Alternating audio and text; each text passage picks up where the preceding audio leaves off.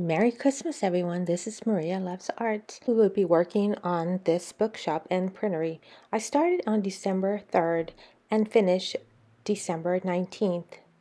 This was very challenging. Let's see what's inside. So here we have the story of this kit. If you want to check it out, you can do it online. So the first part is actually the balcony.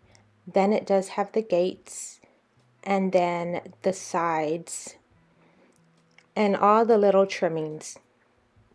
Here are some of the pieces to the kit. Some are wood pieces and some are acrylic. I will take them out later and show you how small they are. It's incredible. This set is very miniature and some do have cases. A lot of these things are very delicate. So I just love the color of these rugs. They are turquoise, pink, and dark rose. They're very soft and they do need to be cut out. Here we have the stained glass windows. They will need to be cut out. They're very beautiful and delicate with peacock designs. This structure kit is laser cut from MDF and wood. Here is the Itty Bitty Village set. There is a staircase in this package. Here we have a lot of little pieces of furniture and items that need to go in the house. I will need to put them in some warm water with some dish soap and leave them for 30 minutes. So this is the warm water I have and I'm going to add some dish soap. Just mix it up a little bit and then I will be pouring it in the cups.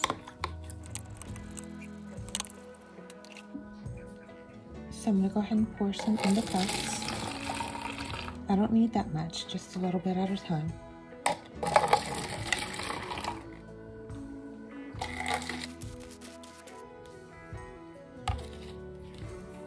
So now what I'm going to do is I'm going to add each of these little pieces into the cups.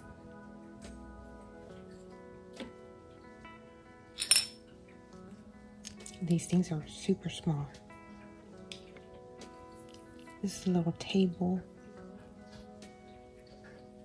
and a couple other tables.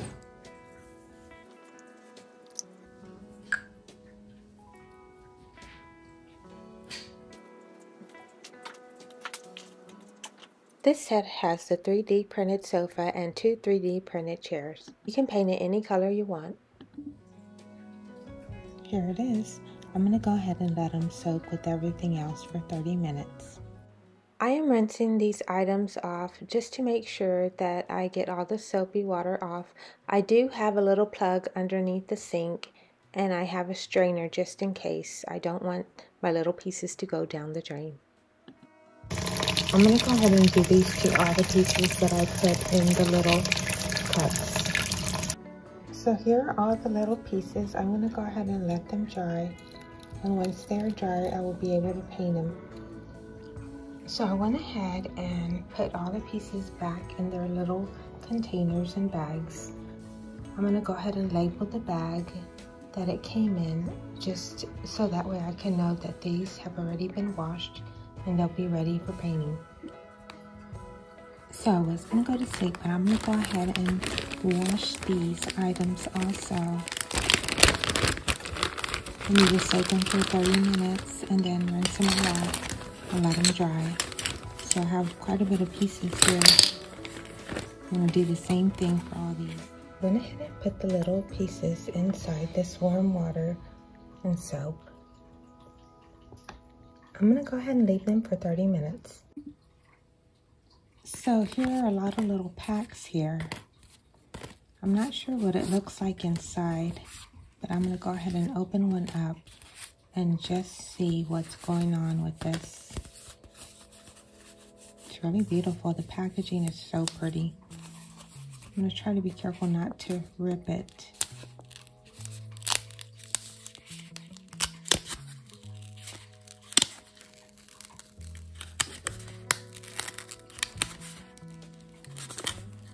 It's sealed pretty good.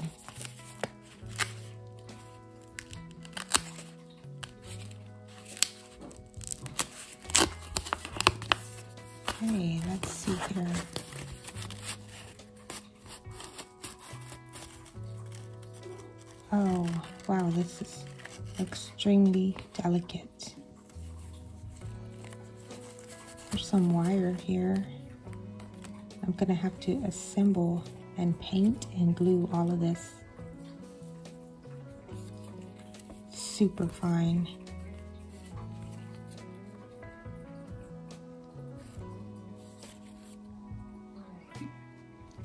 Let's go ahead and see what is inside here.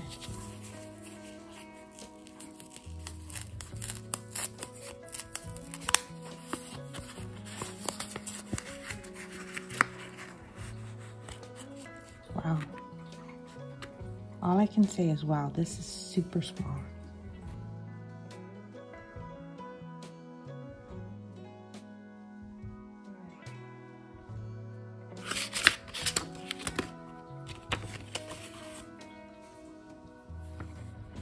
Supposed to look like this. So I'm going to have to paint it and assemble it. Wish me luck. Okay, one more. This work table here looks like this. So I'm gonna have some assembly and painting that needs to be done.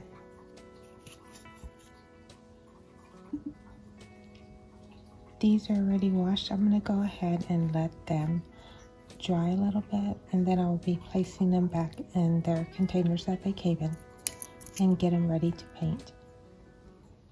I did have to sand a lot of these items. Afterwards, I did wipe them off with a paper towel.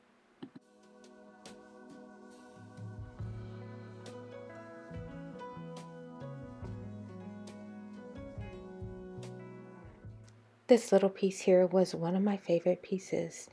It did require several layers of paint and then I did add a sealer but you will see at the end it is quite the little piece. I was so nervous about starting this whole project, but then once I started painting, I became so comfortable and I just had a great time with it. Right now I'm using a little pen to apply these little gold dots. As soon as I finish one item, I wanted to start another one. This does require a lot of patience. This is the straight pen I use to apply the gold. This little 3D printer table will have a marble effect. I had a lot of fun painting this table using the marble technique.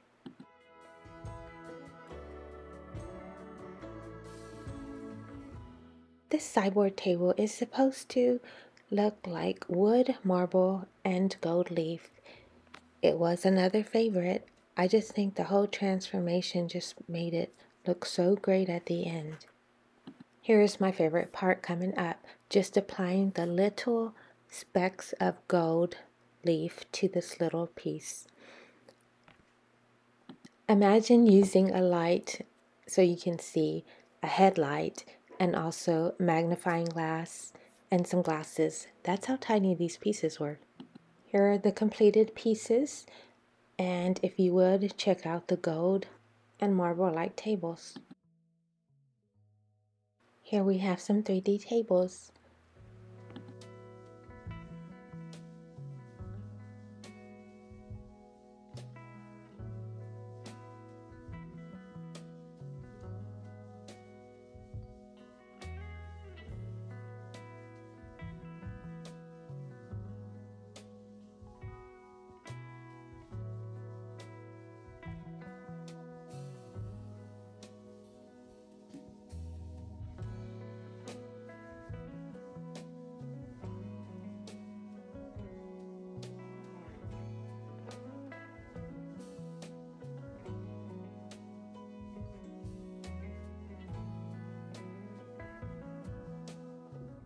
Here I am sanding some pieces down. I have to use a mask for this.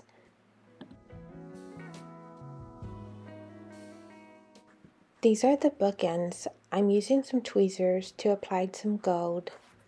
These are so tiny it's hard for me to hold them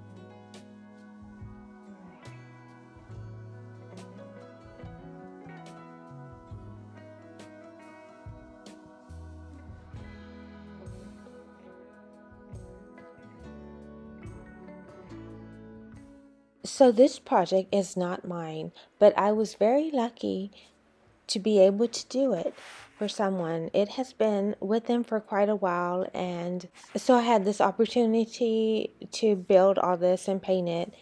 I went for it, and I was afraid I was going to run out of time and needed to be done by December 19th, and we were able to complete it. I did work on it on my birthday, but it didn't seem like work at all. It was just a lot of fun.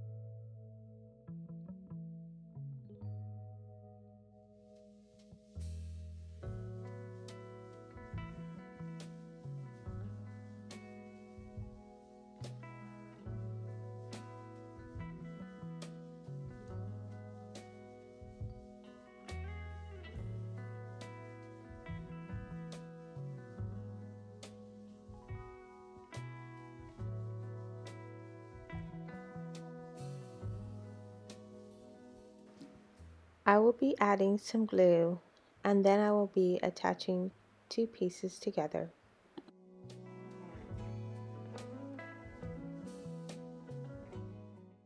These mini pillows came out adorable.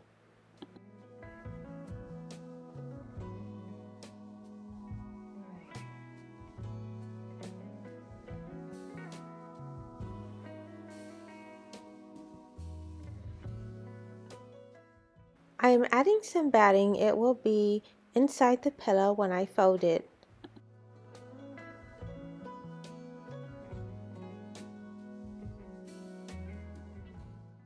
So after I trimmed the fabric, the fabric did have a little lining that I had to take off.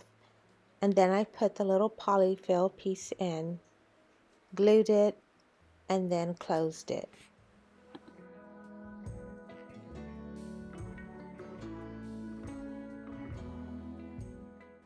Once I painted it, I am adding a sealer on top.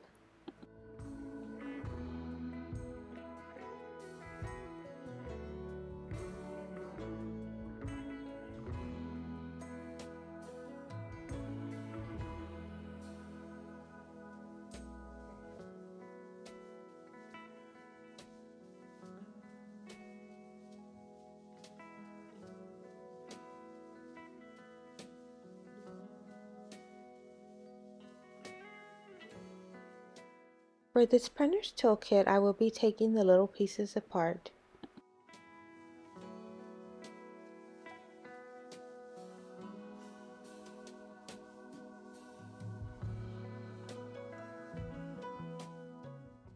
There are some rough edges of acrylic that I need to take off, so I'm using this little cutter. And then I will sand it and clean it up a little bit with a cloth.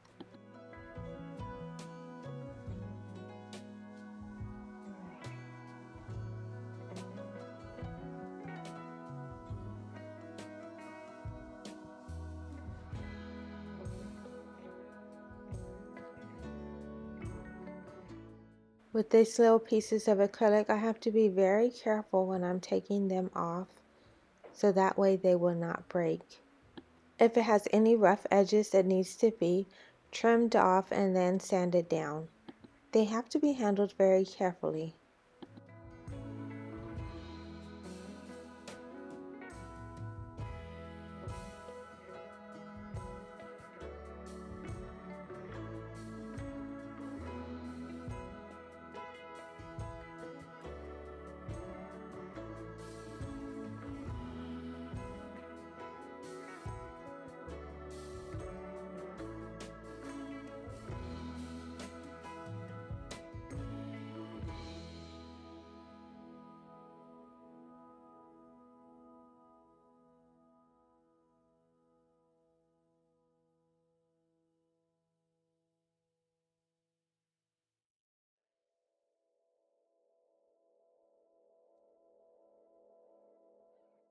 You see the dark lines around all the little images to cut out? Once it's cut out, those little dark lines have some kind of powder to them. I have to make sure to clean all the black powder off. It just leaves a mess and it's harder to paint.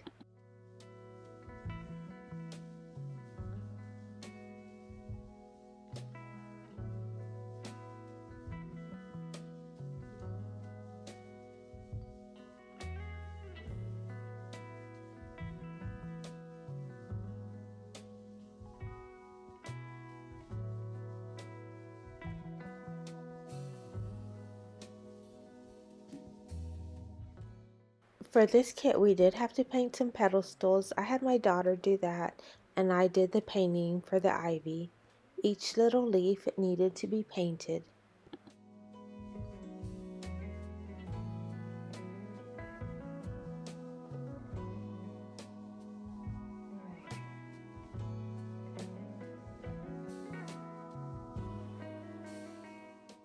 For these miniature leaves, I am using an extra fine brush and a couple of acrylic green colors. I'm going to paint the front and then the back. Now it's time to take them off. I will be using an X-Acto knife and some tweezers.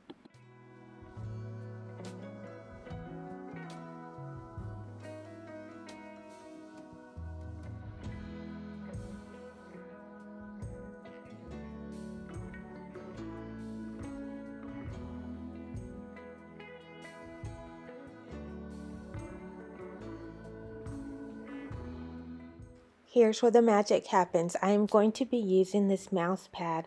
I'm going to use an embossing tool and put some pressure on it. This will cause the leaf to fold up. This is a little tricky because they're so, so, so tiny and it's hard to get them with my fingers. But once they all have a beautiful little shape, they all do look great.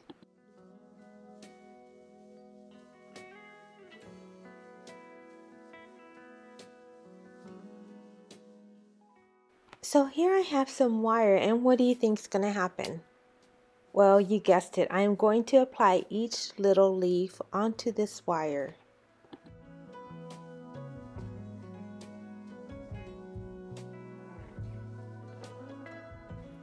Can you see that little leaf? It's hard to see, but it's right there. Now I have to add more. Once the glue dries, it will dry clear.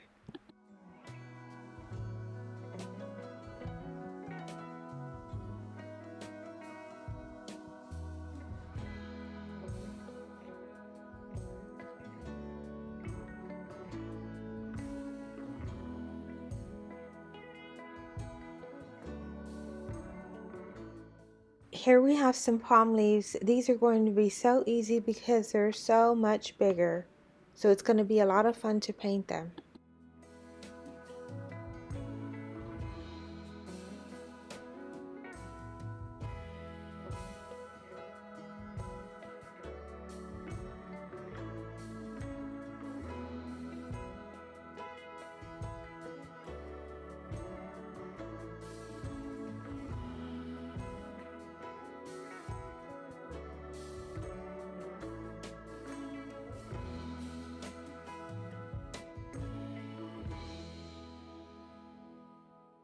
So I left out some steps to this video, but it would have took way too long to put every single little thing that I had to do for each little project.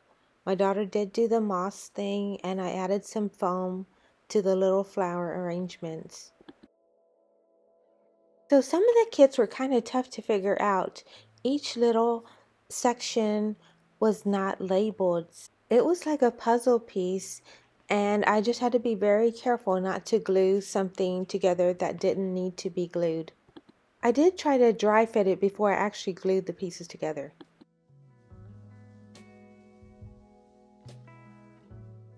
These mirror and art frames were pretty heavy for its size. I will be gluing them to the wall.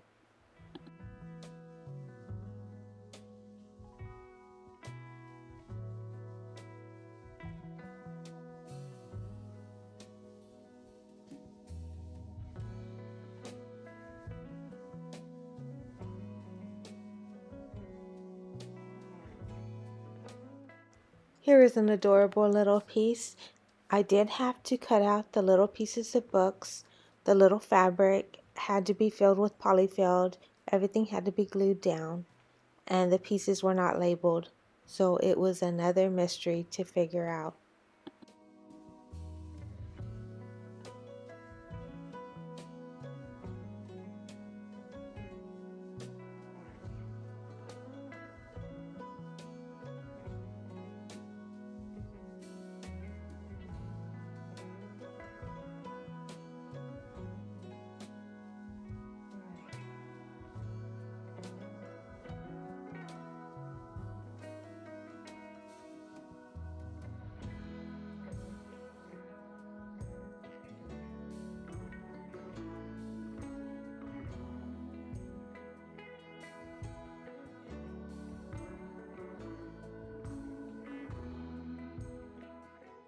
I had already assembled so many of these wood pieces together without any kind of information telling me what is what and how to put this and that together. So I was getting comfortable and it was beginning to be very fun for me.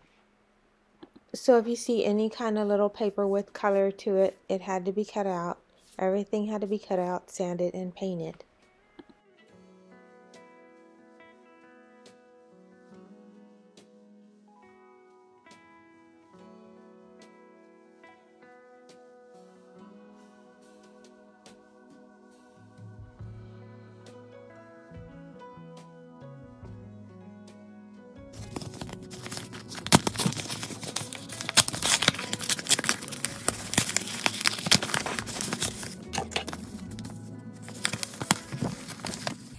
This. This is actually labeled and it does help so much.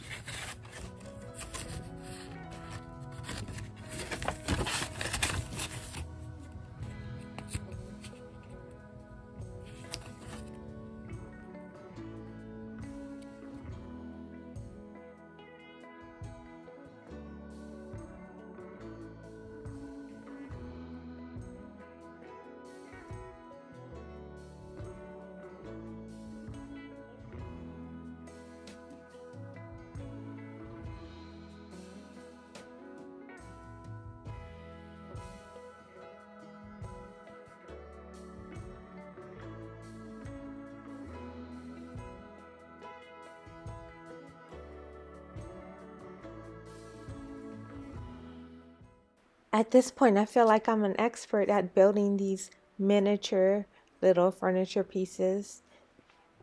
I can remember being so afraid to touch one of these, and then it all started to come together and made me feel so good.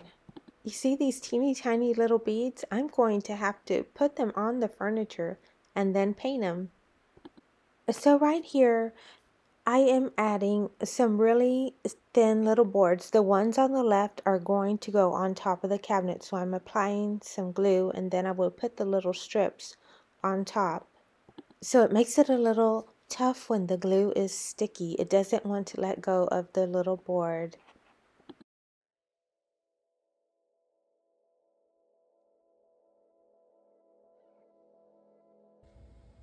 It does seem almost impossible, but it does get done. So on the left side, I do have some of the beads applied already. Now I'm just getting some glue and then adding more of the beads.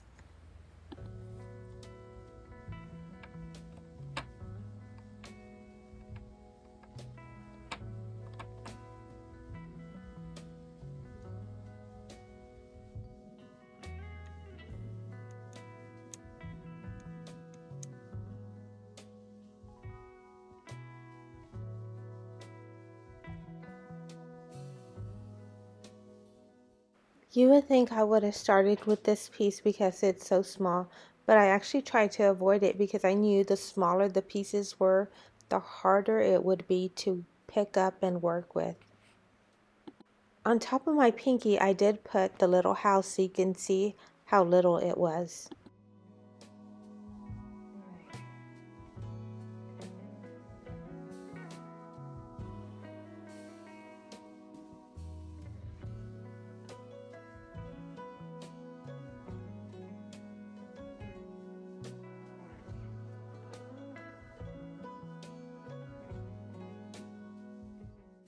I'm letting the pieces dry. We used three tables for this project. So we went ahead and painted all the pieces and they are stained. They're done front and back.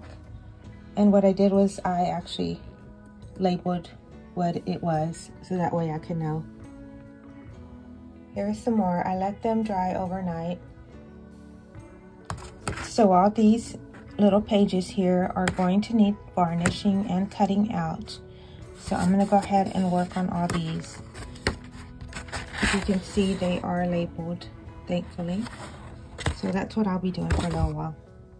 So here's a little example what I'm doing. I'm using parchment paper because I'm going to varnish and I don't want anything to stick, the paper to stick to the varnish on the cardboard that I have here for support. And I'm using a cutter also, which helps cut everything much better than just using some scissors. For some spots I do need the scissors, like this little edges, but um, for the most part, I'm trying to use this cutter here, which has been helping me a whole lot, and it has really clean lines. So here I have the stained glass windows. I'm gonna go ahead and cut them out and then put them aside until I need them. I'm getting ready to assemble the house itself, so it'll be a while. Wish me luck.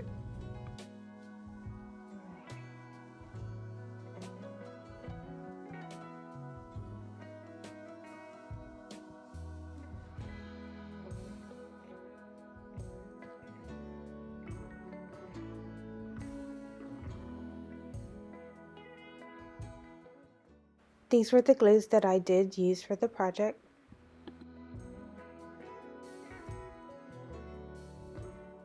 So here we have all the little pieces that we painted, sanded, and worked with. This project was amazing, fun, challenging, and I can't believe we actually did it. I'm ready to do another one.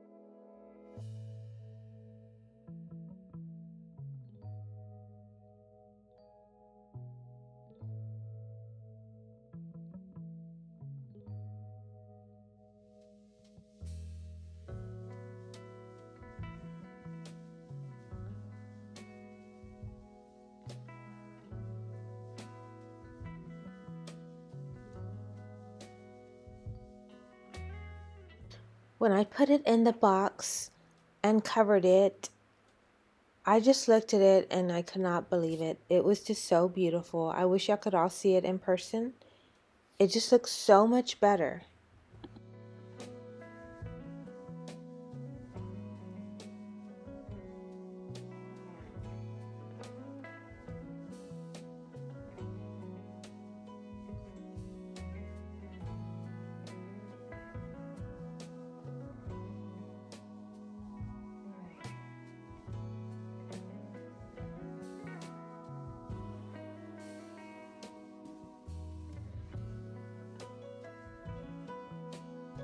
I went ahead and glued the rugs down and the two fireplaces. I also added the windows and the artwork.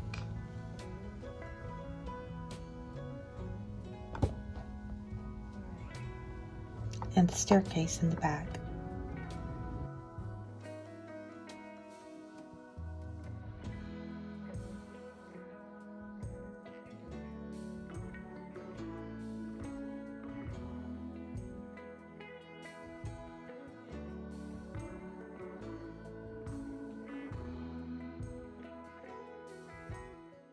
I would love to make another one, so if you need one made, I'm right here. Just send me a message. Thanks so much for watching. Merry Christmas, and this was a Christmas miracle.